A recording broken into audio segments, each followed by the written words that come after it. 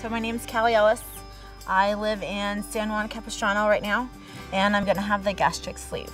Um, my family asked why haven't I done this before. I talked to my twin last night, and I told her about it, and she goes, what took you so long? I've been telling you about this forever, to do something extra, because she's like, you're working so hard and nothing's working. So I was like, I know, it was just me procrastinating. My mom, since she knows I don't do doctors, she goes, Are you sure? Yes, this is what I want. I don't even go to the doctor really. When I do, it's someone's dragging me there for something. So I'm nervous, yes, but then I'm excited because I know what the end result's gonna be. And I know I'm gonna kick myself. Why didn't I do this before? Why did I wait so long to do this? My friends and family are very supportive very. Even my work is. My supervisor actually is doing the same thing and she recommended me. She told me that there was this great doctor she found, so I did a bunch of research on him and um, decided to go with him. But Dr. Feiz came in and told us, you know, right away, you know, I went to school here. This is my specialty. Um, like some of the other doctors will come in later on and do weight loss because this is where I've started. I haven't, you know, detoured or anything. This is where I've started and this is where I've kept going. He does stuff with Cedars-Sinai and everyone knows that's a huge thing out here, you know. So that kind of was like, oh, okay.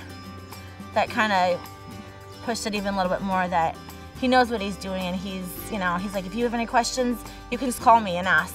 He's actually taking the time and caring about you as an individual. And we started talking and Dr. Feiz has a great personality makes you feel like he's basically just talking to you, but yet there's a bunch of people in there. He was like, well, let me stop and talk with you real fast. Do you have anything that, you know, you want me to answer for you? I wanted to make sure that I could still have kids later because I'm 27 and I come from a big family. I'm one of six kids. And he's like, you're fine. I've had two patients who um, had kids within a year. They were totally fine. Unfortunately, my work schedule is, kind of never know exactly what days I have off, you know, beforehand, really. So um, I went to the Beverly Hills office just because they had an opening. Um, before I even got there, they had already ran my insurance. The day of the consultation, they're like, yes, you're fine. Your insurance covered it. And then these are the next couple things that you have to do. So the nutritionist, um, you have to talk with a psychiatrist. Um, I did mine over the phone, just made it easier because like I said, with work, who knows when I'd get in.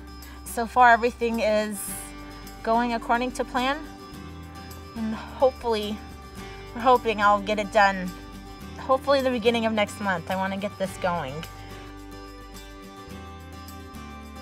My highest was 360. I've lost 80 so far, just by myself, in about two years, two and a half years. But I just stopped. That's my problem is I'll lose it and then I'll just stop. And that's where I'm at right now. No, I've been dieting my whole life. Uh-huh. It was just, my sister was getting married.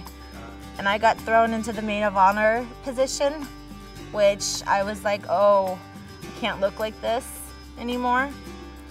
So when I really got really serious and started doing stuff. Went on a really strict diet. Um, and I lost a bunch of weight on that, then it would be yo-yo, you know, because you can only eat this and this, and you know, I can't eat chicken and vegetables two times a day for the rest of my life, and that's it.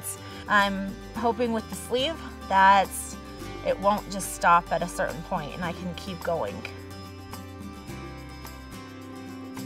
Well, when you're overweight, you see the pictures and you think, how could I let myself get like that?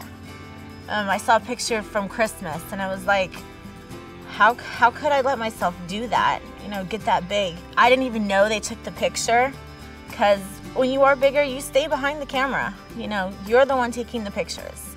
You don't want to be in front of the camera. You don't want to see, you know, other people like, oh, you're really pretty. And you're like, oh, thank you, you know.